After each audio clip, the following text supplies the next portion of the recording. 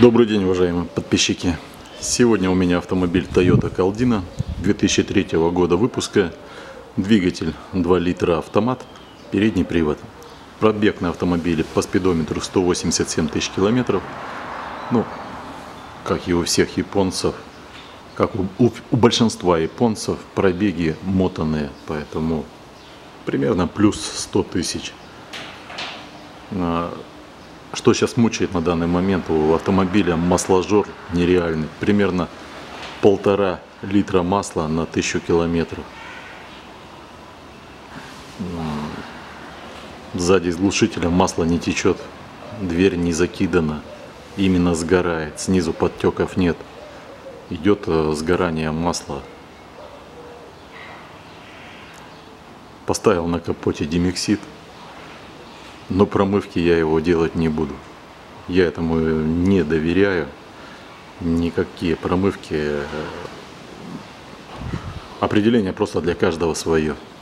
Мое мнение, промывать не стоит. Что это значит? В масло что-то добавлять и крутить по системе. Опять же, я никого не уговариваю, я высказал свое мнение. Демиксид приобрел, приобрел 10 баночек по цене 32 рубля но для промывки. Буду снимать и мыть голову, мыть поршня, менять кольца, колпачки. Двигатель здесь стоит 1AZ FSE системой впрыска D4. Попробую разобрать здесь на автомобиле, не снимая двигателя целиком. Приступаем. Поднимаю, сливаю масло, сливаю антифриз и разбираем.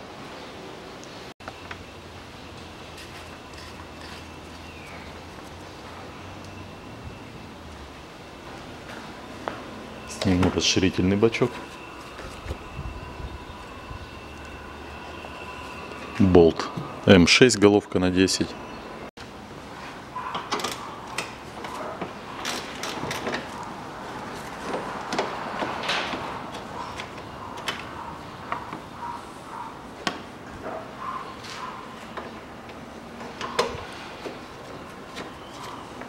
Снимаю пробку с радиатора.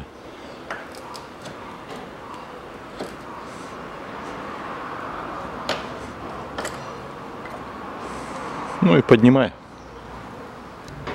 Поднял автомобиль, снял пластиковую защиту и боковой пыльник пластиковый. Откручиваю масляный фильтр сразу.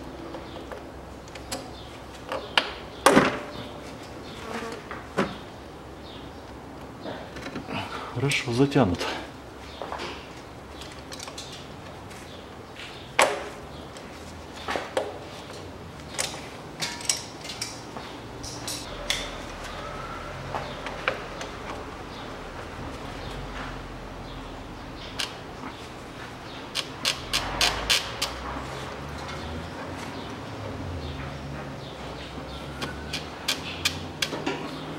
Ha ha ha. кто ж так его?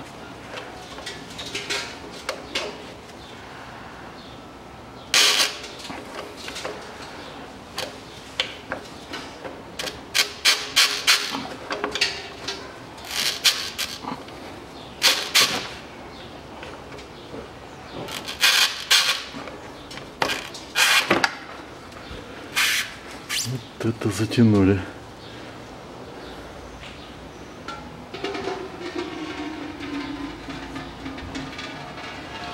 Сливаю масло с фильтра, убираю фильтр и откручиваю пробку поддона, ключик на 14. Сливаю антифриз радиатора. По ходу движения с левой стороны на радиаторе есть сливной кран. Находится под телевизором. Здесь отверстие для шланга. Вот шланг я одел. А краник сзади белый.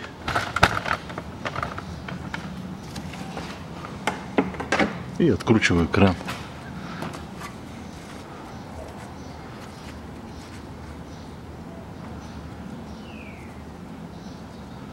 Все, антифриз у нас побежал. Сольем с радиатора, потом сольем с блока. Там тоже есть краник. Все с блока слил. То есть радиатора слил, сливаем с блока. Вот он краник, одел шланг. Головкой на 10 ослабляю.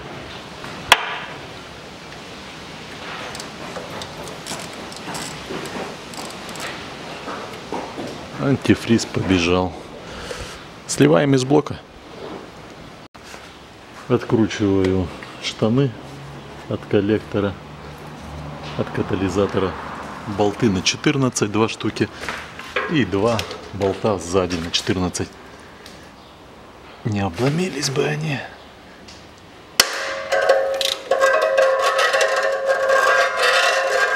Так, этот пошел.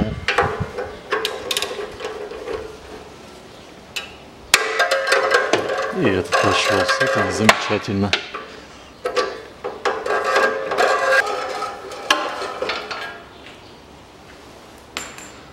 Ну, а теперь сзаду. Вот они болты, гайки. Что у нас здесь получится?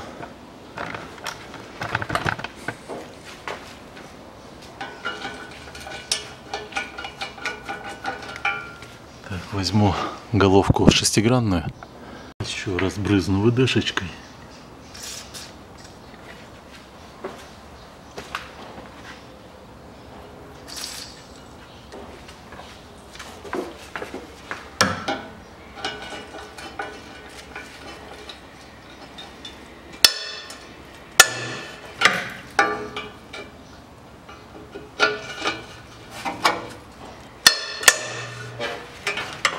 Так, ну, оба болта шевельнулись. Это уже радует. Машина 2003 года.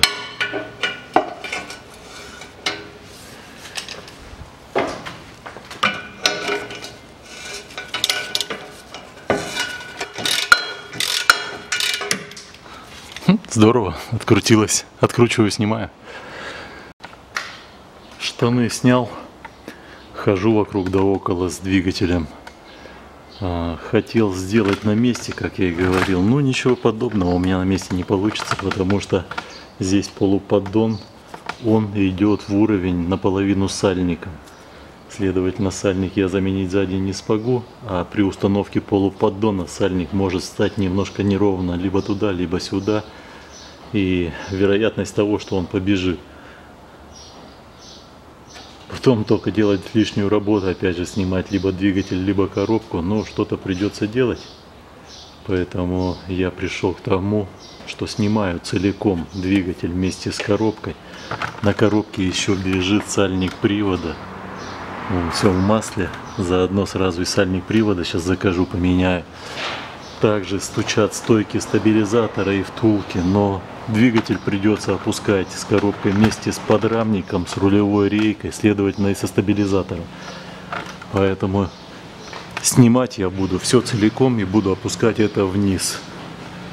Да, процедура будет долгая, видео будет длинное. Целый сериал сниму. Но так будет лучше и будет аккуратнее. Снимаю подрамник, откручиваю снизу гидромуфту.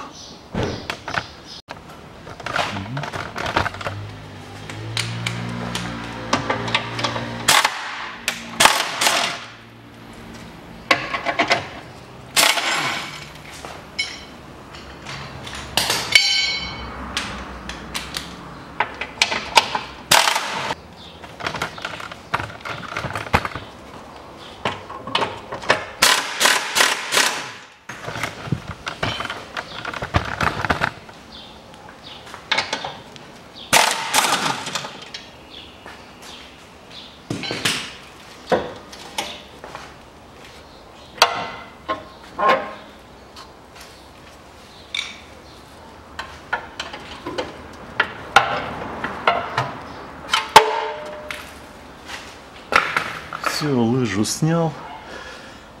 Теперь откручиваю вот эти нижние болты, три штуки. Снимаю вот этот лючок.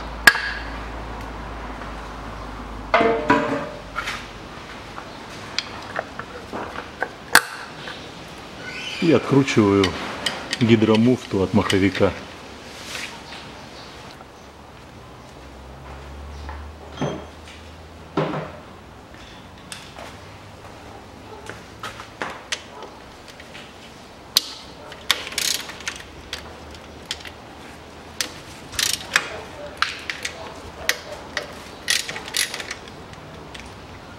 Сначала все болты ослабляю, а потом уже буду откручивать.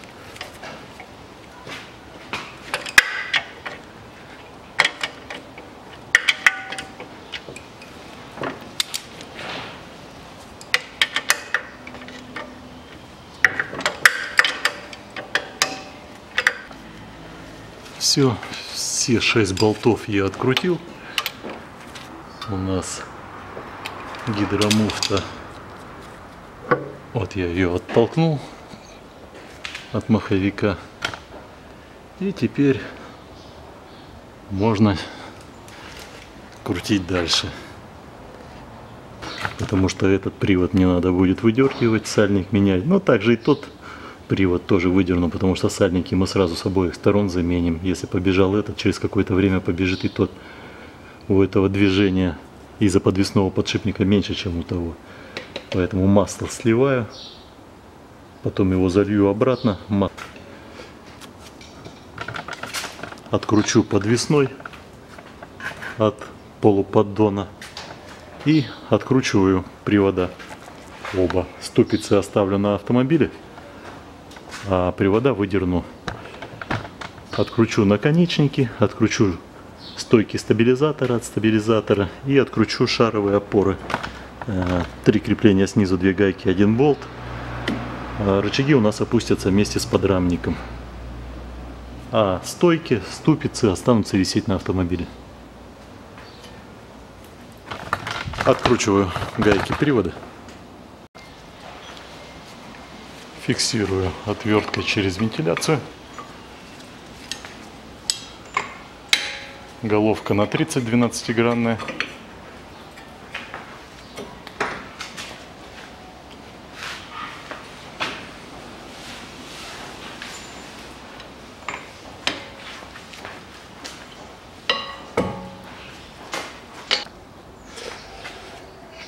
Крутил гайку. О, привод у нас выходит нормально. Ну, также откручиваем со второй стороны. И после этого уже откручиваем шаровую и откручиваем рулевой наконечник. Все, открутил я стойку стабилизатора целиком ее. Нижний конец еще живой, а верхний все. Вот он и с одной и с другой стороны стучал. А стучал, потому что разорванный пыльник.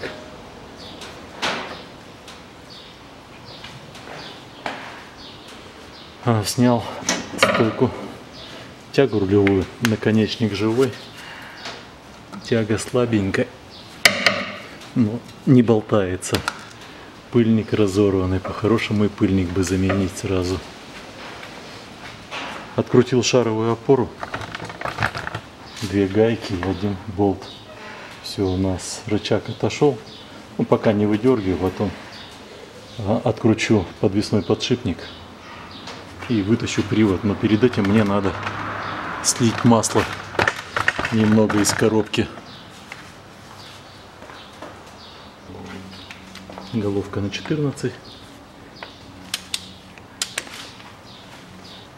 Мне это масло потом еще заливать надо будет, поэтому я здесь немножко сполосну и протру, чтоб его ничем другим дополнительно не морать.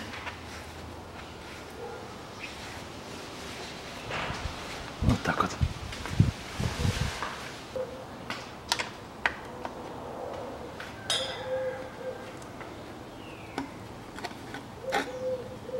Здесь сольется где-то около двух литров, чуть больше может быть.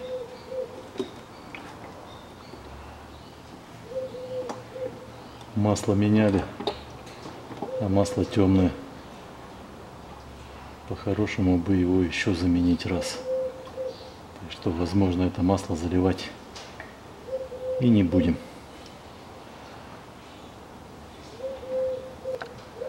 Все, слил я масло. Получилось в общей сложности где-то около трех с половиной литров. Теперь, теперь, теперь, теперь я, наверное, отключаю патрубки на радиатор, который идут охлаждение коробки и патрубок охлаждения двигателя. Тоже его сниму. Затем, затем, затем я откручу привод. Откручу вот эти болты. Кронштейн останется, сниму с ним, а вал вытащу.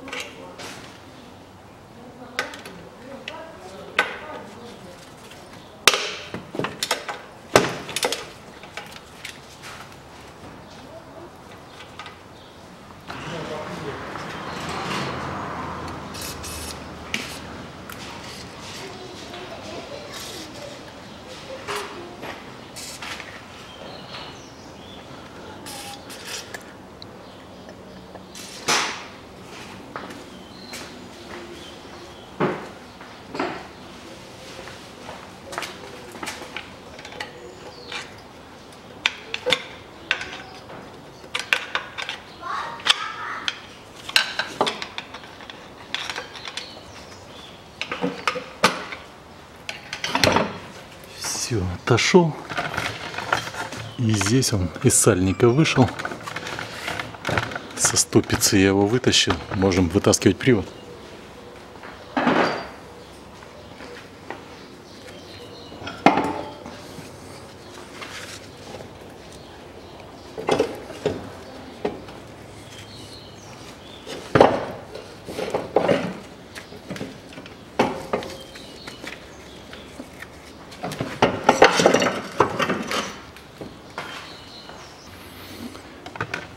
Что у нас здесь?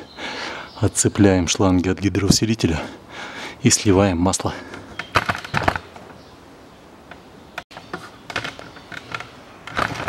Так, вот этот шланг сниму хомут.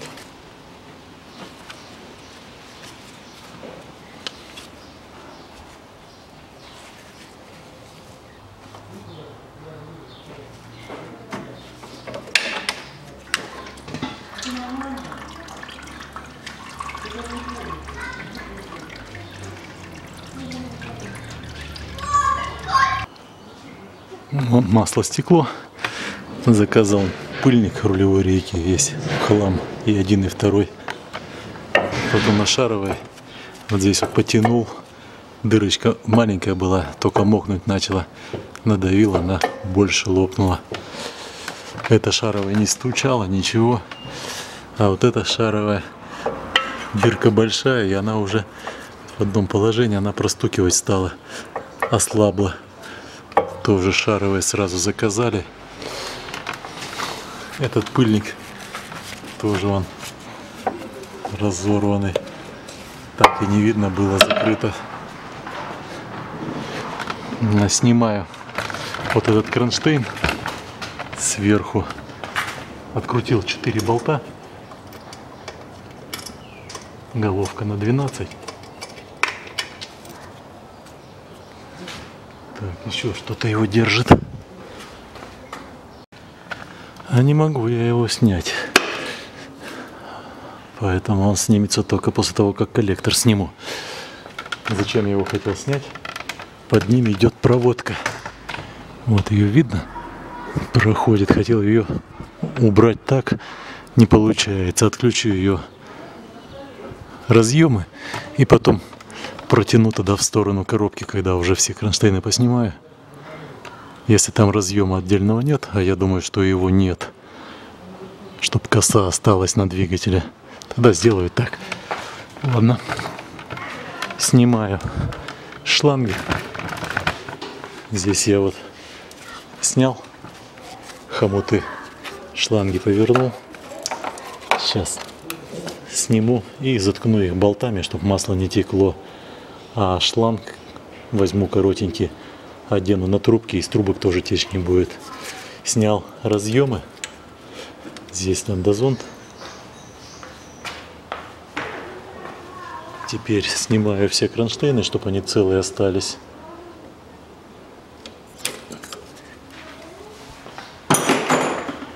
Здесь ключиком на 8. Вот он, болтик. Да, клипсы подлезть не получается, поэтому откручу кронштейник.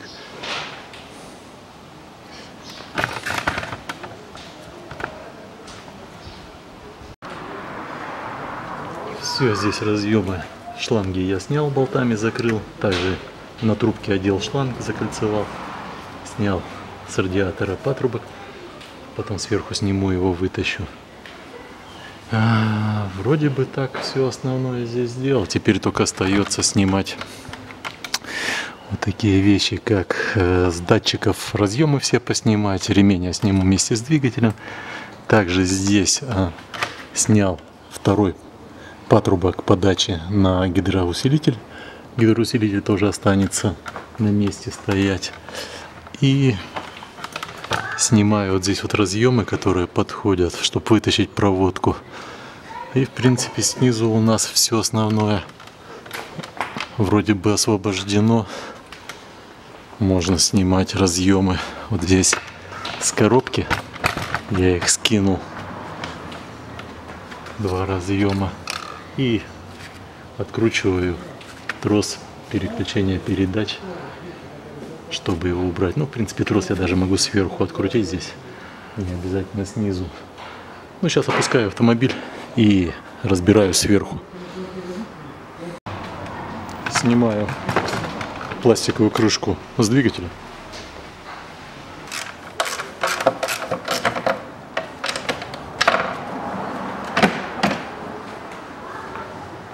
Теперь отключаю разъемы.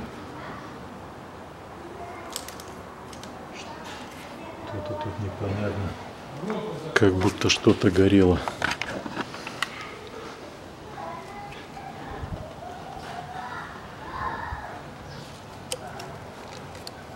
Как будто что-то горело.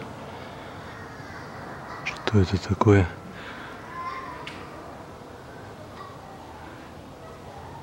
Неизвестно. Ладно. Снимаю катушки.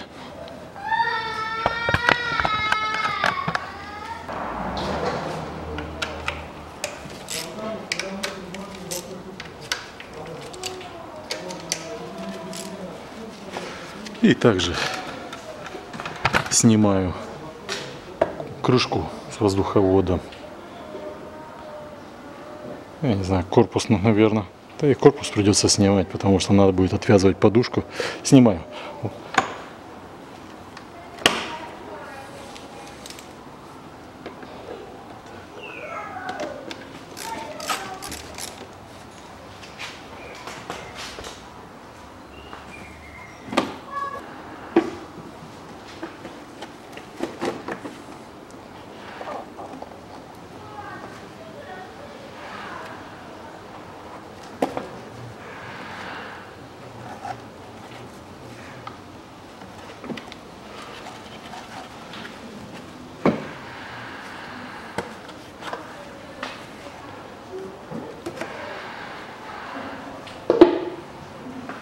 Здесь три болта держит корпус.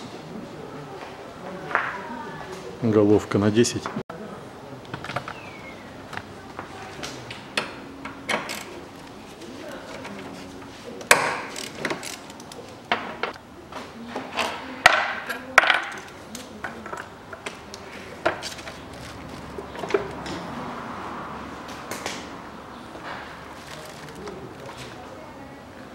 Здесь у нас клипсы на проводке.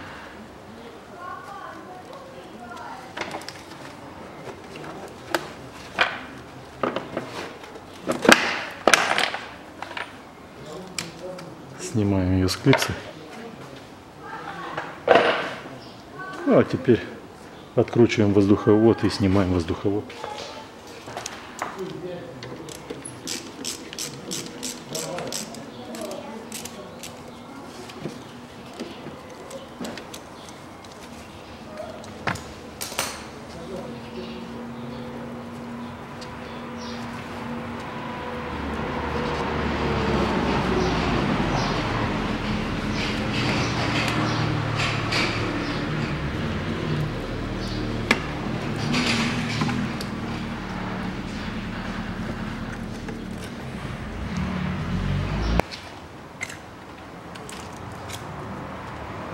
Вот проводка, которая у нас уходит вниз. Хорошо бы, если бы здесь был общий разъем, разъединил ее и все. А так придется весь пучок вытаскивать оттуда, тянуть.